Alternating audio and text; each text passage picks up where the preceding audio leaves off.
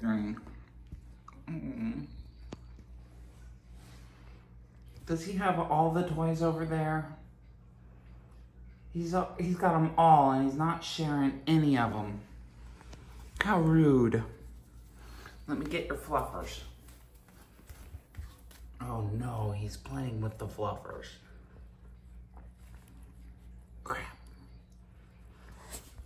I'm sorry, buddy. He's playing with your toy. Guy, what? You have all these toys and you're just going around me. No.